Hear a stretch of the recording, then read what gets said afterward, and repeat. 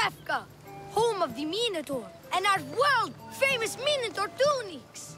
Tunics! Minotaur tunics! One size fits all. Uh, I don't see how one size can fit everyone. My name's Arsenios. If you want to know how to defeat the Minotaur and become the Greek world's most famous warrior, then this is the tour for you. You sell it well, kid. Let's go on your tour. You're not worried someone's going to steal your world-famous Minotaur tunics? Who would? They're tunics for Minotaurs.